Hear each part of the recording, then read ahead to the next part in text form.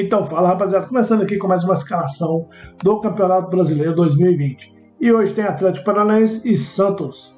O jogo vai ser às 19 horas pelo campeonato. Vou falar aqui a escalação do Paulo Autori. E o time vem assim do Atlético Paranaense.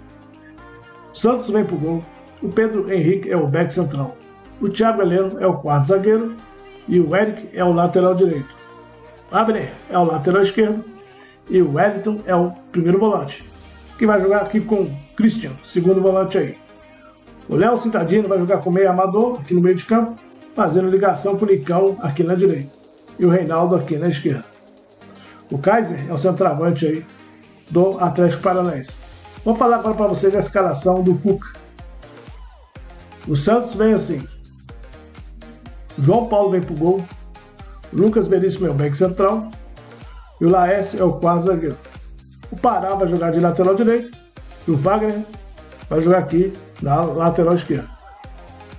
O Vinícius vai jogar aqui como primeiro volante e o Ivanei como segundo volante aí, fortalecendo o meio de campo. O Felipe Jones vai jogar aqui com o meio armador, né?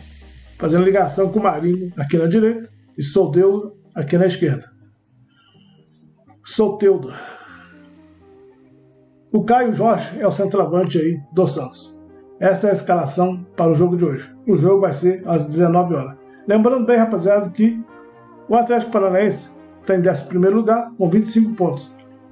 O Santos está em sexto lugar com 21 pontos. Beleza?